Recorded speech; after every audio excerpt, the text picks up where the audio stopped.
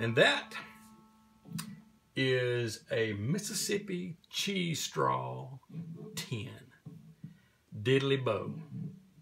Built this afternoon. Sounds pretty good. I love it.